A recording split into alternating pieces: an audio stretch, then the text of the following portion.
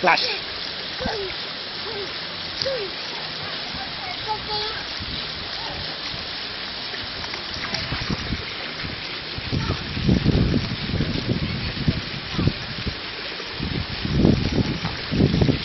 No, Joshua, it's hot over there. Hot.